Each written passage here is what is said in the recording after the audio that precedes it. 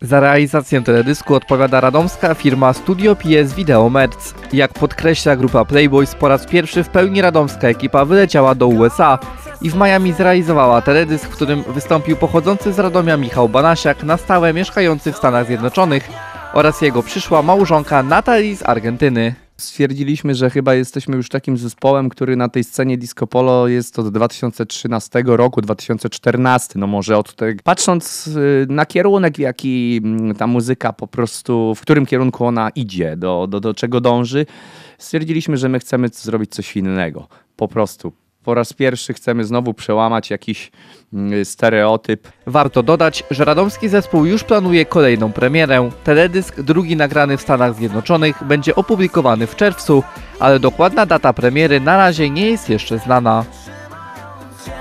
Wiesz dobrze, kochanie.